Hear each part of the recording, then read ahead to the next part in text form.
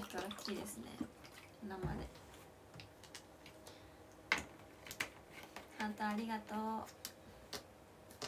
こんばんは。ラーメンマンだったのか。そう。メイクさんがお任せって言ったらこうやってくれました。でもこの髪型可愛くて明日もやろうか迷ってる。今日全然写真撮れなかっ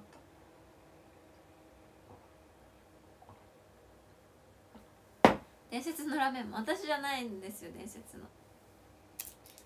これ飲めこれ飲んでもいい？私今胃もたれしてて若干。これ飲まない方がいいかな。飲みたい。野菜生活。これ昨日も飲んでたかな。また買った。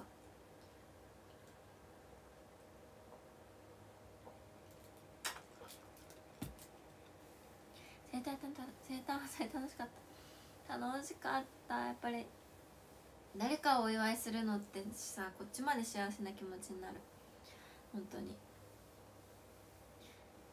今日は10人トイレと西荻の組み合わせだったんですけど西荻との公演も多分おそらくですけど最後どうわかんないんですけど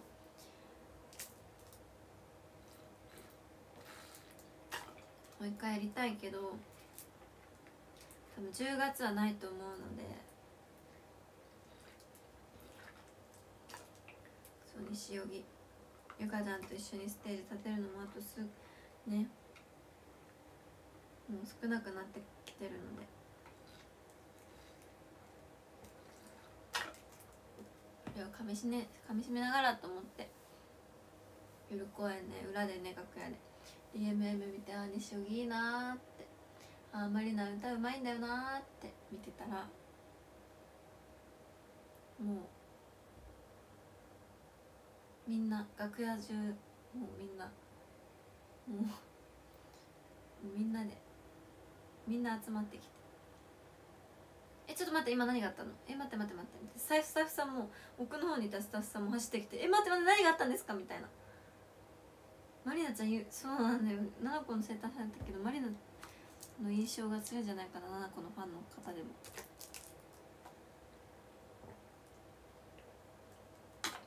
楽屋も爆笑っていうかえ？えこれリハーサル？え？えこれ本番だよね？え？大丈夫？みたいな。心配からの爆笑って感じでしたね。も笑っていいのかなあれって。ハートありがとう。で本人がめちゃくちゃ笑ってたのでよかったです。あれでめちゃくちゃ落ち込んでもう次もう出れないとかならなくてよかった。落ち着けててすごいよかったよね。めっちゃでも2回目のイントロめっちゃ面白かったけど。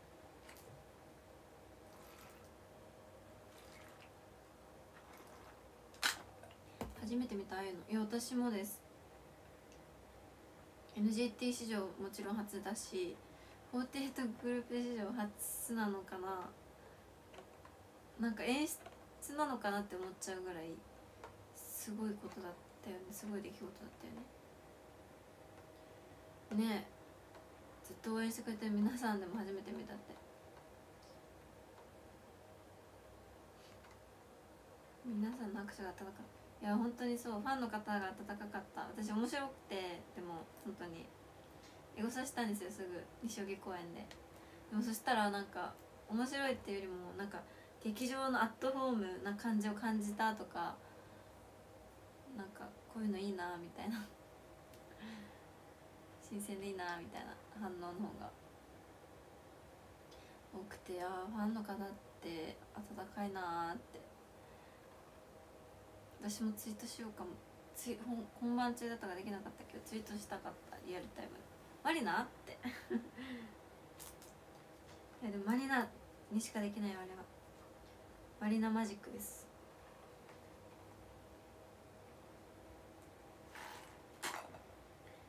でもマリナらしいよね。なんか。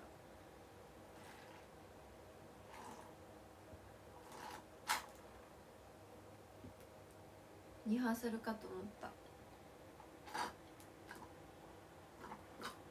リハーサルではやったことあります私も。すいません。ってだからでも本番でも起こりうる得るんですよああいうことが。間違えちゃって急に急に真っ白になっちゃってっていうことは。私も本番で何回も経験してきたけど真っ白になって止めたのは今までなかったから。すごいなって。めっちゃマリナも伝説残してくれた。もう一生一生あれは伝説です。大滝の大滝北斗です。卒業発表の卒業発表の大滝北斗並み。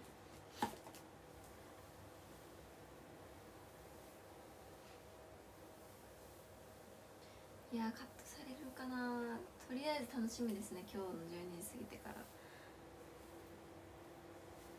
あ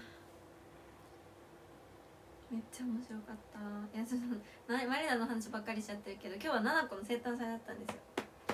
ナナコおめでとう。大好きなナナコナナコは本当に NGT の中でもお姉さんっていう立ち位置で、まあ、年齢が上っていうのもあるけどでも実際は次女で実際のね家族構成はね長女でもないし次女なのにすごい本当面倒見が良くてもう私もなんか七子には本当頼っちゃう。迷わず頼っちゃう存在。なんかこれ頼ってもいいのかなとか考えずにもう七子を頼ればもう間違いないっていうもう安心。感私にとっても本当にねお姉さんお姉さんですね私にとって。お姉ちゃん。いやだから本当に七子のことが大好きで七子のお姉さんのところとちょっとむしろ話したけどちょっとちゃんと変ちゃんと変なところとかも大好きで、まあ、一番優しいところですね。本当に優しさの塊。七子と話してるともうすごいもう相手を嫌な気持ちにさせさせない天才。もう本当になんだろう。すごい。相手を持ち上げてくれる。よいしょよいしょしてくれるか。ら私もたまにそう勘違いかん本当に思って書いてるんだろうけど。本当に調子乗っちゃうぐらい本当になんだろう。話をねあの褒めてくれたり本当によく見てくれててメンバーのこと優しいんですみんなに。私だけじゃなくてみんなに優しいの7個は。みんなの7個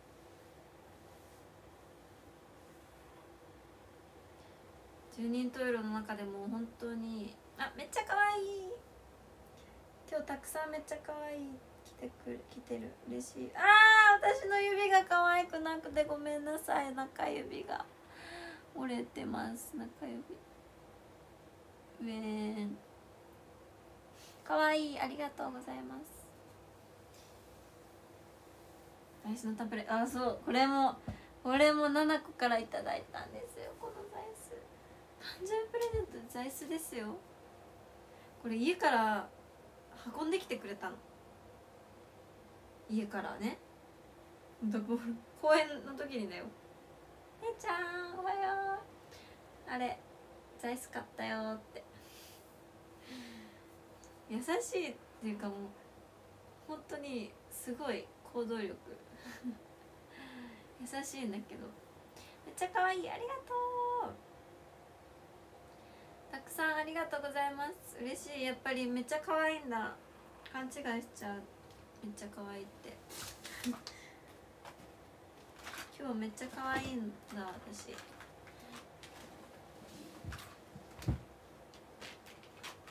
ねえ本当に優しい。一回だけ奈々子ん。ちにお泊まりしたことあるん。ですけど本当にその頃めっちゃ昔だけど生誕祭でも話したけど本当に家がなん。かすからかん。で家具が全然なくて物が少なくて棚も段ボールで代用しちゃうぐらいな感じだったん。ですけど多分7個はそれがいいからとかじゃなく物を減らしたいからとかではなく本当になんか気にしないんだと思う。なんか物欲とかないないんだと思うんだよね。人へ買ってあげる欲は持ってるけど自分への欲が本当になんかもっと欲持ってもいいのにって心配になっちゃうくらい全然ない感じがする見てて。周りの目を気にしないっていうのかな。そういうところでちょっと多分メンバーからも変わってるっていう見られ方もあるのかもしれないけど。でもそういうところも好き。人の目でも全然気にしないところとか。なんか昔はすごいなんかポジティブみたいな。自分でもポジティブなんですって言ってごい。変わった気がするななんか研究生の時とすごい一番変わった気がする研究生元一期研究生の中で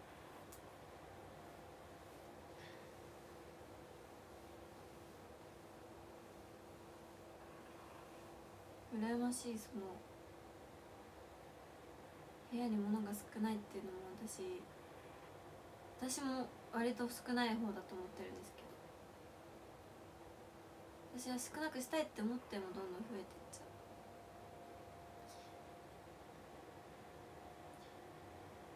公園見に行きました。ありがとうございます。めちゃくちゃ素敵な生誕祭だったね。なんか7個のスピーチって7個のお話って本当になんか長くても短くても関係なしになんかもうすごい聞き入っちゃうんだよね。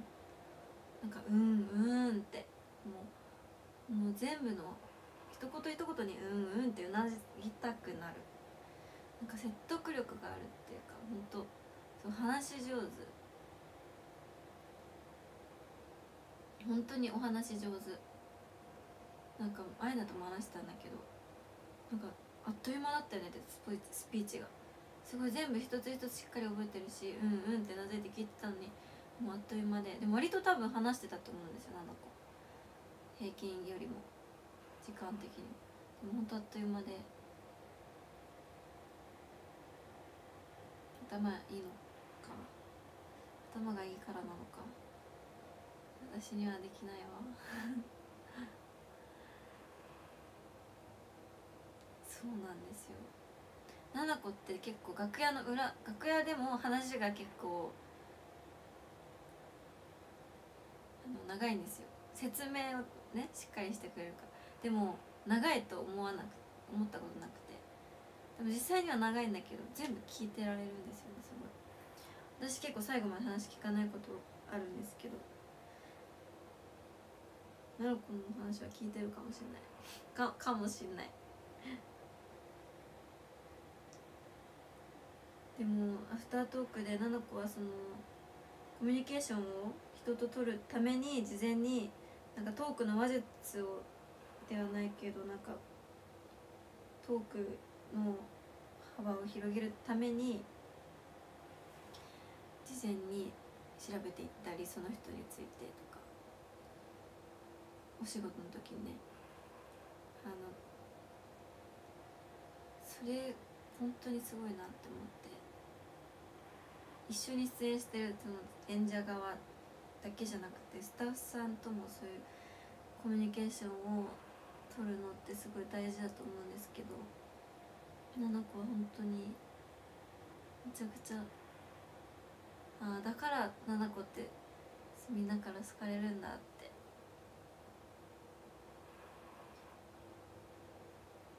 やっぱ努力を、ね、してるんだなって改めて知ってたけどなめちゃくちゃ頑張って。る本当に心から尊敬する存在です。頼れる。頼れる存在。もう7個すごすぎる私。生誕祭終わってから何回もつぶやいてた。やっぱ7個ってすごいんだなって。5回は言った。多分一人で。勉強になったよね。多分社会人のみんなでも社会人10年目とかみんなでも勉強になると思う本当。だから7個の生誕絶対見た方がいいです皆さん。勉強になるから社会で生きていく上で。そんなスピーチだった。あそんなアフタートークがすごい勉強になった。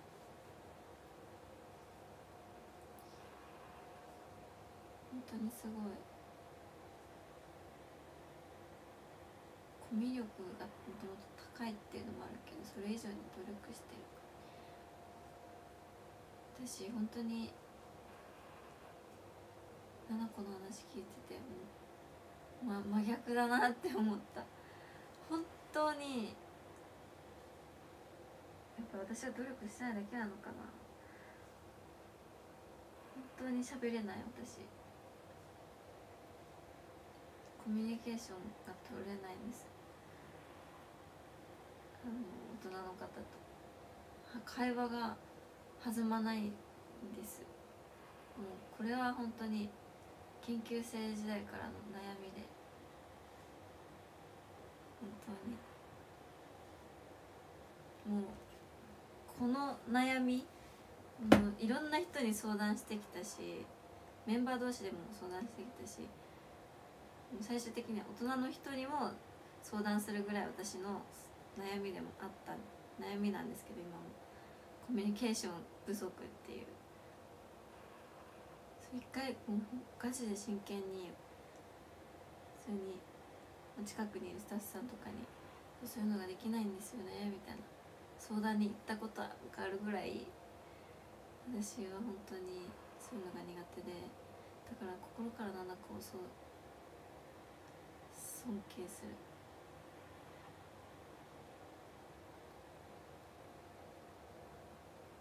慣れ慣れって言ってももう私もう6年もやってるからな。やっぱりすごいんだと思う。私にはできない。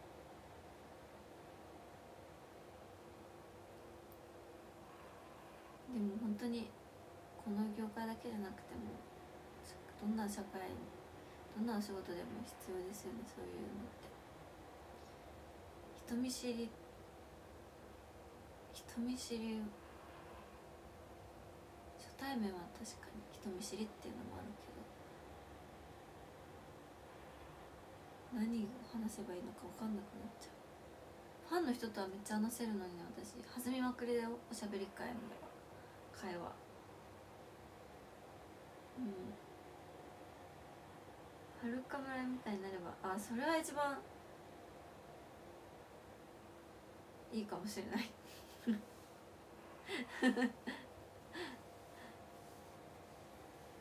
れはいいかもしれない。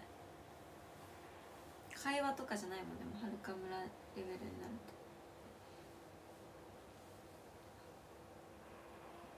噛み合ってなくてもいいんだもんね。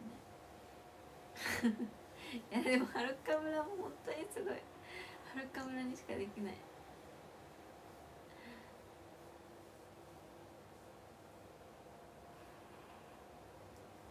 そうなんだよね。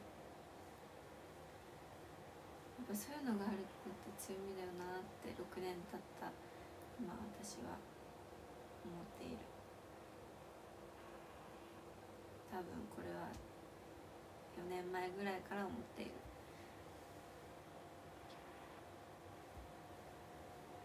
人が変わるきっかけっていろいろあると思うけど実際わかんないよね自分が変わったきっかけついたらそれがきっかけになってたとかあるかもしれないけど。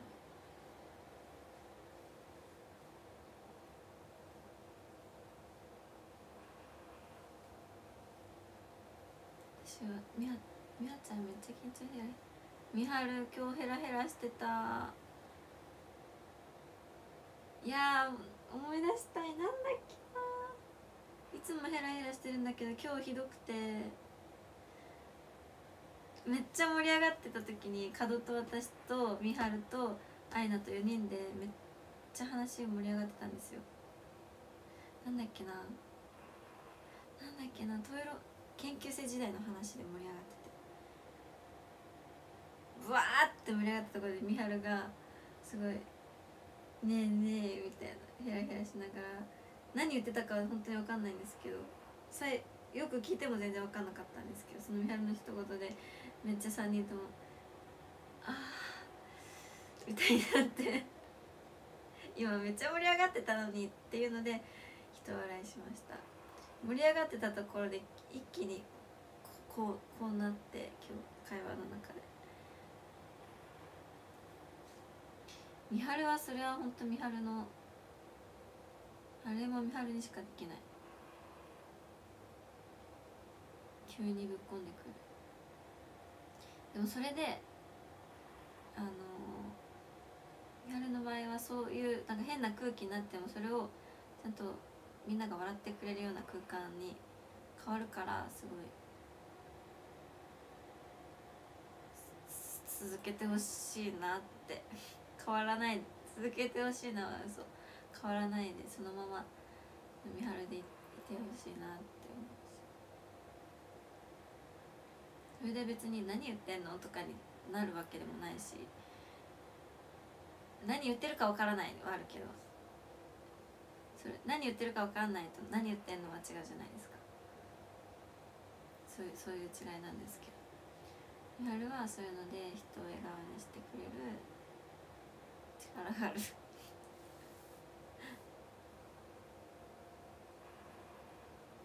末っ子感が半端ない。あー。確かに。末っ子感半端ないね。え私ってどうなんだろう？お兄ちゃんがいるけど。いやでも末っ子感あるから私は。いやでも私甘えられないな。甘えるめっちゃ甘えるってわけじゃないけ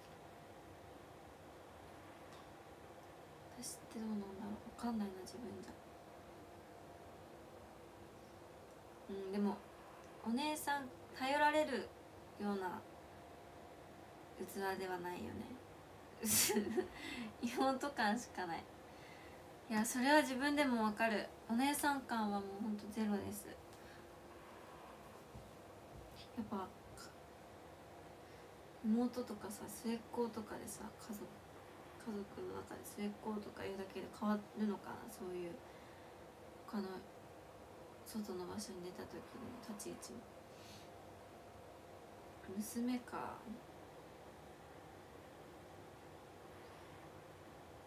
お姉さん感欲しいな。あおちゃんと話してもお姉さん感ない。えー、それ確かに。多分私だけあおちゃんと話しててお姉さん感ないの。自信ある。私だけ。自信ある。本当に。身長かな。いや身長じゃないな絶対。喋り方かな。なんだ雰囲気かな。えー、確かに私ってやっぱり。そうなんだ。自信ある。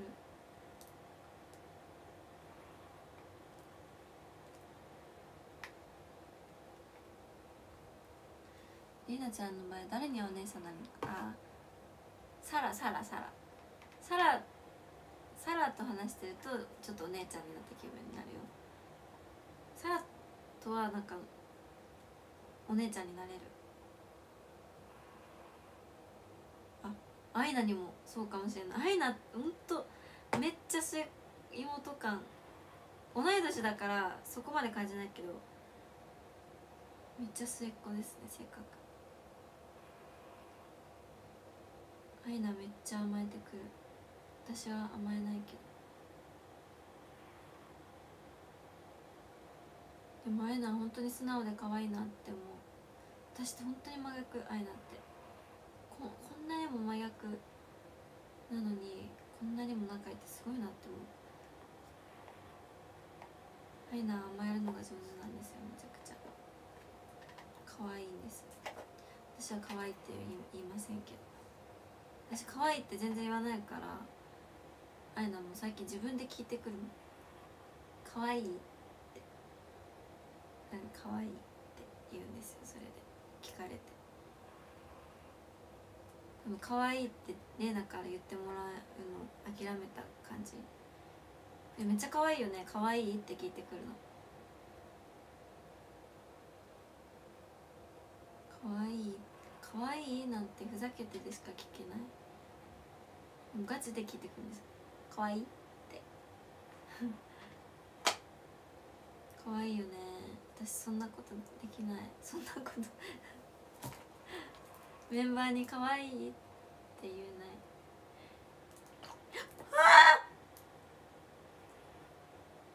今すっごい声出たけどあふ噴水噴水でしたこれ。飛び出てきた。ズボンにめっちゃかかった。今すっごい声出た照れちゃうのかな。照れ照れちゃう。照れちゃうっていうそんな可愛いもんじゃないです私。私本当に可愛くないんです。可愛くなりたい。私が可愛いのは可愛いって言ってもらえるのはその素直じゃなくて可愛いの方が多い気がする。自分で言うのあれだけど。素直で可愛いは本当に多分言われたことないかもしれない。素直になりたい。自分にも人にも。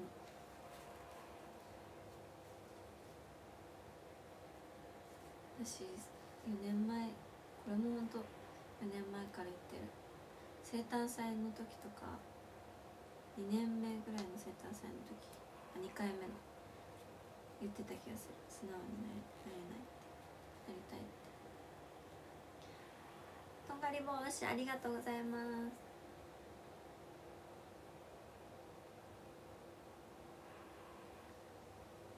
こんなに可愛い可愛いって言ってるの認めて。まあでも可愛いにもいろんな種類がありますからね。素直で可愛いでは決してないです多分私は。アイナは素直で可愛いです。素直で可愛いって言われたい。でも多分なれない。私多分20年間素直じゃなかったと思う。ママにも20年間はそう簡単に変えられない。悲しい。なんだこの動画載った。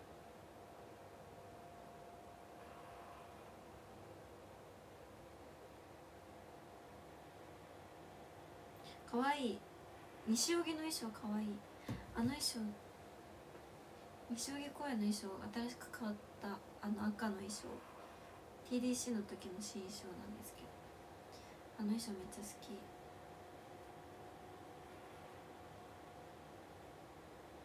素直と素直でないバランスがいい。わかりやすくてかわいい。あー。わかりやすくてごめん。じゃあこの曲めちゃくちゃ合ってるな。好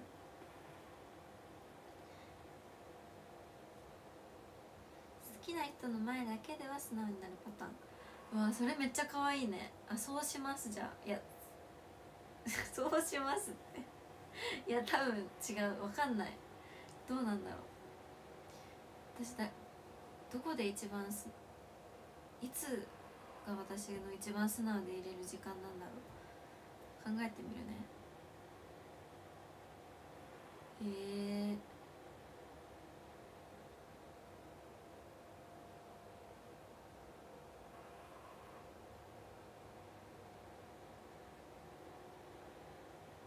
なんだろうな。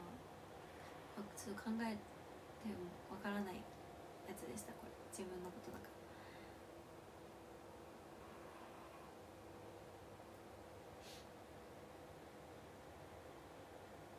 おしゃべり会では素直えすいや素直おしゃべり会でもいやおしゃべり会のは素直素直じゃないないよね。ああ可愛いって言われてえー、そんなことないみたいな。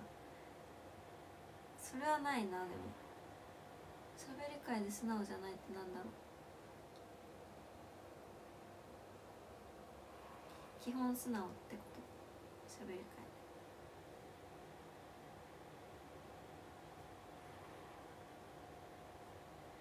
食べてる時は素直ってなんかただの子供じゃん。3歳児じゃん。美味しいものは美味しい。美味しくないものは美味しくない。それでいいんか私。いいいいのかな。食べてる時は素直。ただの子供。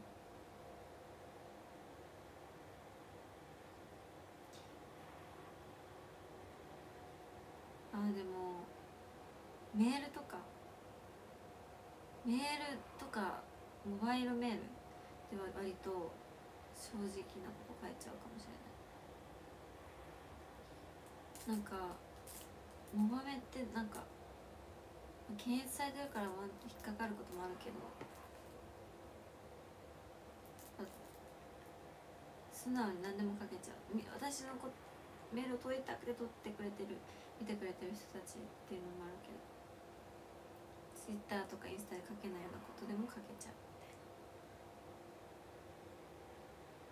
いなあ私分かった。文字にする時が一番素直になれるかもしれない。文章って書く時って頭の中整理しながら書くじゃないですか。だから自分の気持ちはこうなんだってちゃんと考えながら書けるから文章言葉を文にする時が一番素直になれます。あーすっきりした。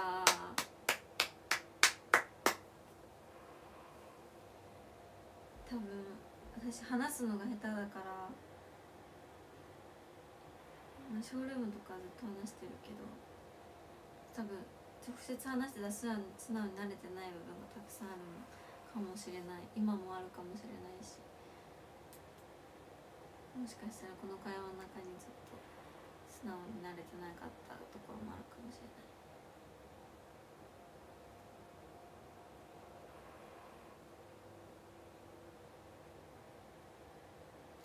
文字にすればいいんだ。だってねでファンの方もさお手紙くださる人とかいるんですけどそういうのとか見るとなんか普段伝えないような内容が書いてあったりしてあ嬉しいなってこんなこと思ってくれたんだってお手紙を見て思うんですよ。だから文章にするのが一番直筆なんてそれこそ一番伝わるし一番素直になれる瞬間じゃない？人間が。ね。整理しながら話せるからね。今の会話整理しながら話せないから出てきた言葉をどんどんどんどん言ってるからだから話がまとまらない。でそれをあの話がまとまる人は頭がいいんです。結局頭がいいで片付けちゃうで逃げちゃってるんですけど。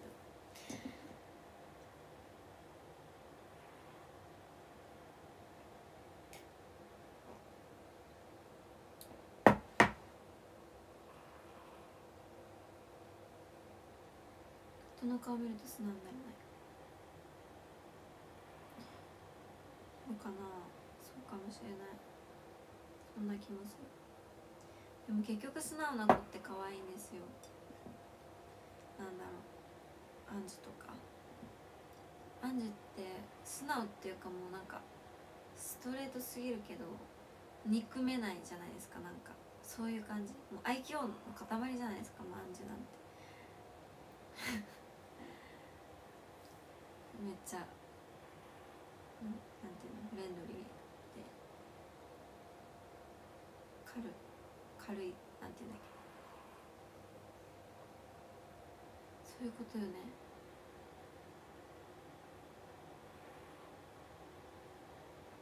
アンジュって本当になんか可愛いんだよな。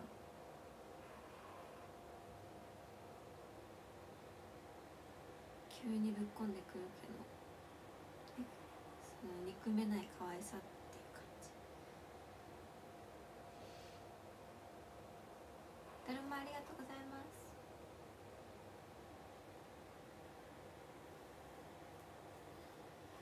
リアルツンデレだね。だって私ツンデレ冷たい目で見下ろして。ツンデレの曲。ニャーニャーとアンジュのツンデレめちゃくちゃ良かったな。アンジュの卒業公演。大好きあの曲。ともちんさんが大好きだから、まあ、アンジュも大好きだけど。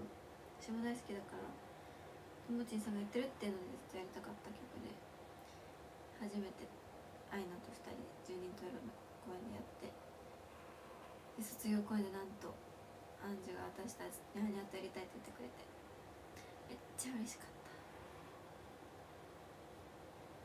かっこいい。ありがとう。でもアンジュなんか卒業した気しないんだよね。なんかコンサート出るんじゃないみたいな 感じしちゃうんだよね。なんかレッスン来てなくねアンジュみたいな感じ。今はでも。あれなんか電気つけちゃった。あれ今日アンジュレッスン来てなくね？大丈夫かな？みたいな。本番は来るよね？っていう。卒業した感じがしない。ふっからの代表格。ほんまそれワンチャンワンチャンいるか。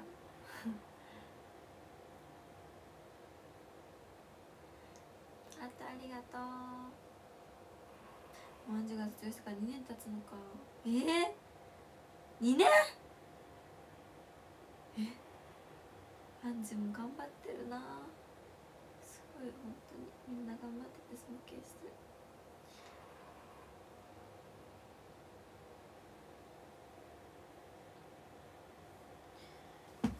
私も頑張らなきゃ。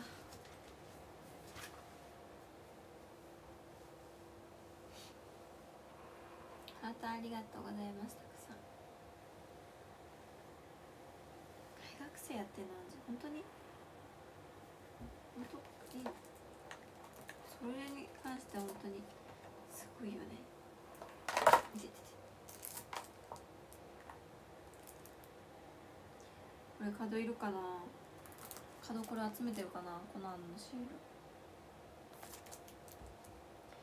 レシート応募で300名様に当たる。私最近こういうのやっちゃうんだよね。なんかもう考え方がほんとなんか主婦みたいに一人暮らししてるとなんかなっちゃって。薬局とかでもらえるいくら以上買ったら応募できてこれが当たるみたいなやつ。最近いろんないろんなお店のやつやっちゃうんですよメールで。当たったことないけど。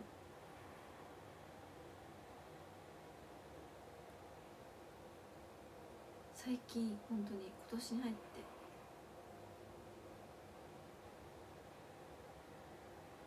その1000円以上だったらこの景品2000円以上買い物お買い求めでこの景品みたいになるんですけどそのためにわざわざ3000円以上買っちゃったりするんですよ。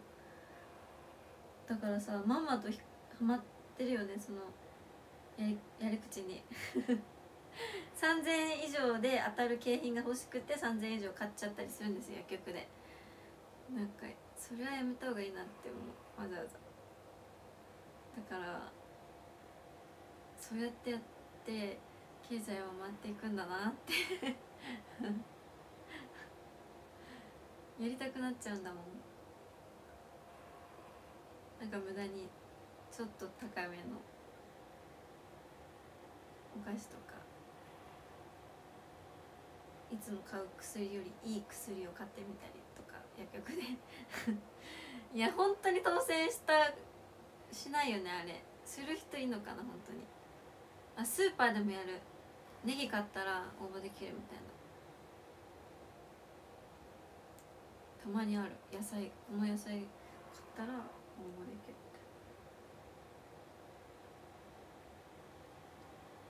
でも当たるかなって思ってやっちゃうんだよね。当たったことない。てかメールちゃんと見てないからもしかしたら当たってんのかな？メールほんと見ないんですよね。もう1932件溜まってるけど。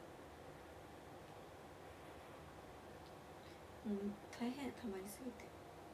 大事なメールとか見落としてさなんか今時その携帯で、うん、電子の時代だから携帯でポイントカードとかいっぱいあるじゃないですか。お店で携帯で登録したら10%オフになるとかそういうのやりまくってるとメールがいろんなところから来て溜まっていくんですよ。一生整理できない。楽しいよね。でも当たるかなって思うするの。今年は年末ジャンボ当てるぞ。おー。っていうか初めて自分のお金で買ってみようと思って。る大人になっちゃってるなんか。自分寂しいね。リーニャが大人になってるよ。年末ジャンボを自分のお金で買うなんて。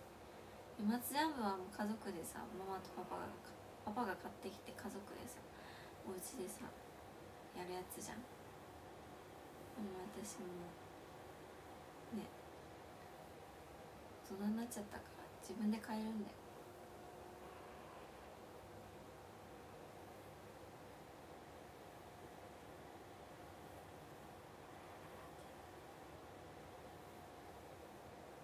メール見とかんとモバイルか？あそっか。そっか。同じところにモバイルってたらじゃあそっか。モバイル毎日見見てるからそのおかげ整理できてるんだ。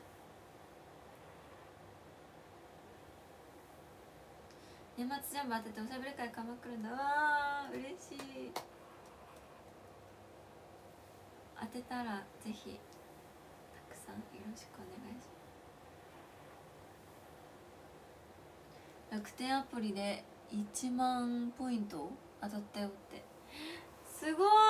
えー、当たる人いるんだ。いいな。いいな。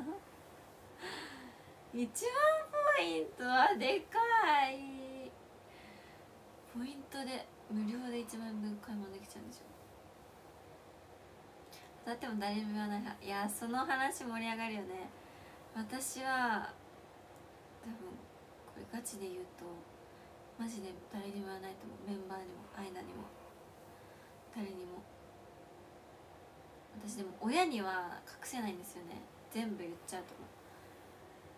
ママとパパには絶対言うけどそれ以上は本当ないかもしれない。お兄ちゃんにも言わないし。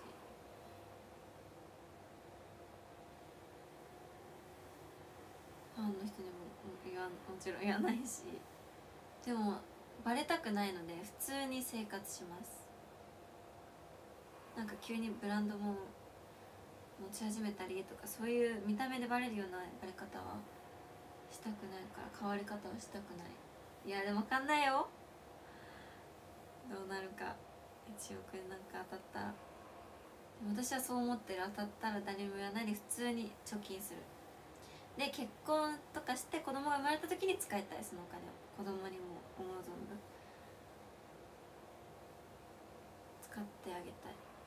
まあでもお金を子供にお金を使いすぎてもなんかねいい教育ができるってわけでもない気もするけど。でも家族に使いたいな。自分で使うとしたらその家です。家とかですね。大きいもの。配信中にニヤニヤしてそう。いやそれは多分してると思うよ。多分毎日もうめっちゃテンション高いと思う。どんなに朝でも。5, 5時から配信してもめっちゃテンション高いと思う。一年中。だからエリには最近テンション高すぎてやばくねって思ったら宝くじ当たったってバレちゃうかもしれない。言わないんだよでも。一生。一全然言わないけど毎日「おはようございます。今日も頑張っていきましょう!」みたいな。もう毎日がハッピー幸せ！みたいな感じで毎日配信してるかもしれない。多分本当にそうなっちゃうかも。だとしたらめっちゃバレるわ。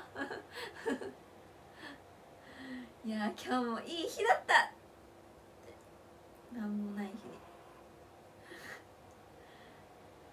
絶対バレるタイプ。いや待って今まあちょっとネタで言っただけで私ガチでバレない自信ある。本当に自信ある。自信あるよ。自信ある。本当に。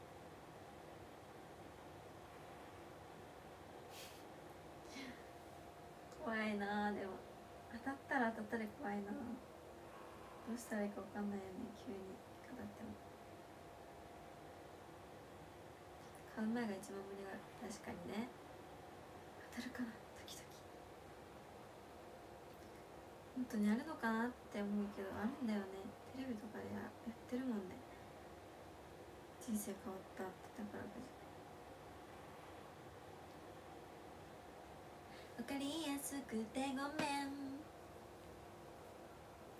消そうとしても全然消えないし嘘じゃないし本当のことだしあなたがもに出ちゃうタイプ。わかりやすくてごめん。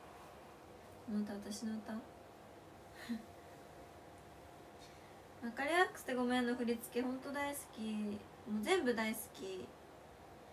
ずずずずンずずズンジャンズンここも大好きずずずズズズン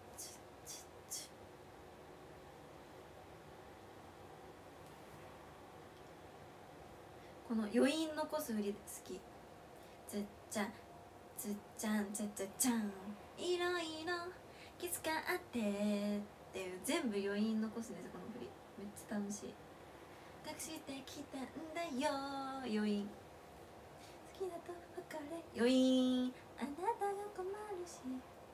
バレて余韻たのかな。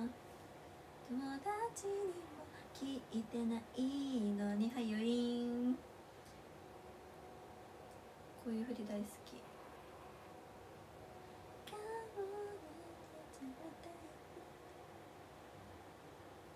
驚いたわ好きと書いてあった誰の仕業なんだ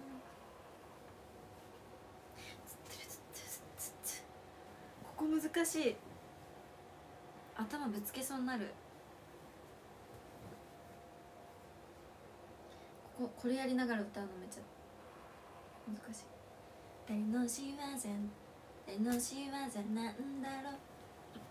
消そうとしても。でも歌って踊るのほんと楽しい。きついきついぐらいが楽しい。もう息切れてきつい。ぐらいが楽しい。10時だ。7個の配信が始まった。じゃあ私はそろそろ主役にバトンタッチしなければ。みんな7個の配信を見に行きましょう。じゃあニャーニャー公園行きたいのにいやーニャーニャー公園行きたいでしょ？私もニャーニャー公園やりたいんだよ。だからこの前実況配信したんだけど本当にやりたい。わかりやすくてごめん。謙虚な美徳。謙虚を忘れずに生きていきたい。ということで今日は深い話をねたくさんしましたね。深いって思った方あればお願いします。判定どうぞ。深い深いいいいいいいうん。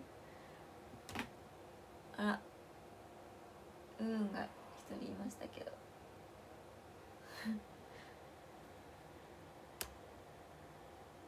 どこら辺がうんだったんですかねちょっと詳しくということではいじゃあスクショタイムしますね。ラーメンマンの髪型で。聞いてみたら長くなっちゃうかもしれない。いやでもそんなすぎるな。綺麗な時にしたかった。いや明日もこの髪型可愛いかな。アルビのさ時いつも首詰まってるからさアップがいいな。エビフリャー。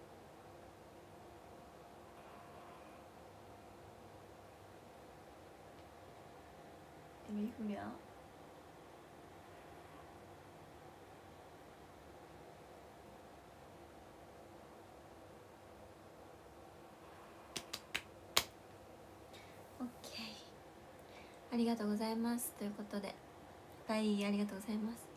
ランキングで終わりたいと思います。13位から。13位葵さん。ありがとうございます。12位ぬっくんさん。ありがとうございます。11位山田のピクチャーさんありがとうございます。